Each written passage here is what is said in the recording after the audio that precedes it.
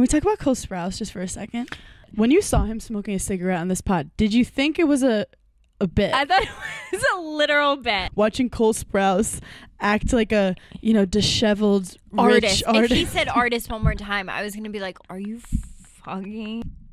It was giving like he wanted to be like Johnny Depp in the '90s. Be fucking for real. That's the first time he ever smoked a cigarette.